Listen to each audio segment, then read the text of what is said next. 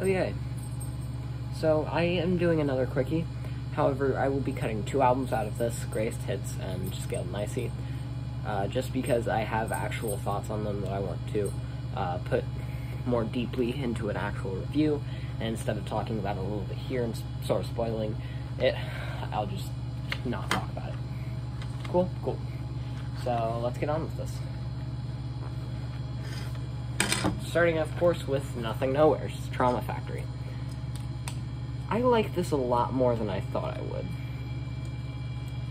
I thought this was going to be just a bad attempt at pop punk.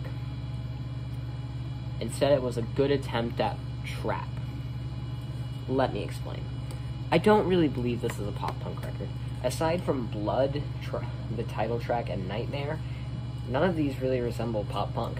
I could see this being emo rap, more leaning into the emo side, but of course still more emo rapish. But I still like it. It's a 7 out of 10 out of me. The single album by NOFX. No effects, there's no effects, there's no effects, there's no effects. I like every song off this album, except for Linoleum. Except for Linoleum. Except for Linoleum. No, they tackle these weird topics. Uh, fuck euphemism is about uh, Fat Mike's. Uh, more uh, gender uh, fluidness. Uh, my bro can, can, cancer of can whatever cancer of cancer is about uh, it's like the healthcare system. But overall, I like this album. I think it's a solid 8 out of 10. Rare Americans 2 by Rare Americans the sophomore album is not a slump in any way, shape, or form. In fact, I really enjoy this. Like a lot. The only song I don't like is Falling Down. This is an 8 out of 10. You're Welcome by A Day to Remember. Uh, A Day to Remember have never really been a, my cup of tea, and this album, it's no different. There are songs that I actually do quite enjoy. Mind Reader, Bloodsucker, Re- Resonant, High Diving, Looks Like Hell, and Viva La Mexico are all songs I will probably return to a lot. However, for every one of those, you get two Brick Walls, two Last Chance to Dance, Bad Friend, two uh, Only Money, where they're just not at all good. So it's a 4 out of 10, which is probably generous, honestly, but whatever. NIRATIAS by Chevelle. Um, um, I think this is a concept album. In fact, I know this is a concept album, but the concept was pretty hard for me to track. Uh, and even though the songs were still very solid, even without the concept, uh, I mean, I'd still it's only a 6 out of 10, honestly, for me. South Loop Summer by Hospital Bracelet. Oh, God, I love this. Um, yeah. These songs are insanely good. I There's not one song that I don't like out of this. Not one. So the title track is very good. Sober Haha JK Unless is probably going to be my song of the year. Hell, Feral Rat Anthem is one of my favorites. Sour OG RPG is hilariously sad. It's just perfect mayhem for perfectness. Ah. This, however, isn't a perfect album, of course. I mean, there's only there's an 11 out of 10, a 10 out of 10. There's 111, 110, and one and everything else is a 9. But this is pretty damn close. Loyalty Over Royalty by C. Oh, this is a 9 out of 10. Loyalty Over Royalty by CJ. I did not suspect I would like this album as, lot, as much as I did. It's like. This album is addictive, like, um. As CJ so lovingly puts it on Whoopty, uh, blue cheese. 6 out of 10. Uh, this new Justin Bieber album, Justice.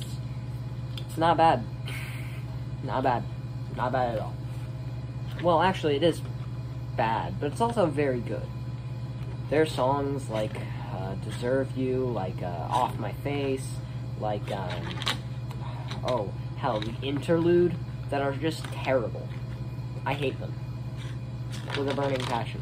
But then there are songs like As I Am, like uh, Unstable, like uh, Peaches, like, um, oh, Loved by You, that are just amazing, really.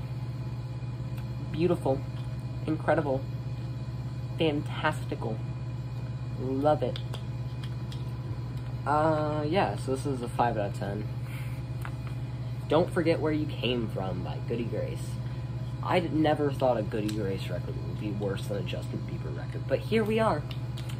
I actually liked Goody Grace before this album.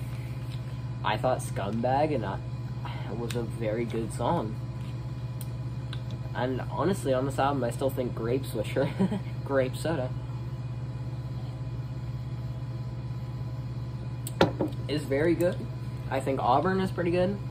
I think Goody Grace is best where he's leaning into a more rock side. However, where he's leaning into this rap side, he just doesn't get the job done. This is a 4 out of 10. Uh, Roadrunner, New Light, and New Machine by Brockhampton. God, I love this record. Two songs that are just meh. Window and When I Ball. Other than that, everything else is good.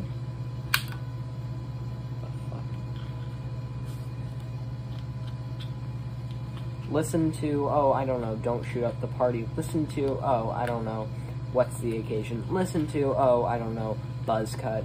Just listen to it all, honestly. Even the me mediocre tracks.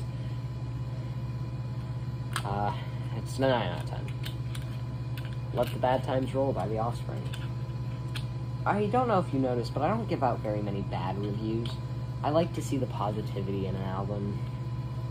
And uh, The Offspring got no different treatment. While, yeah, these songs did have bad things about them, I let the good shine. Because I'm positive.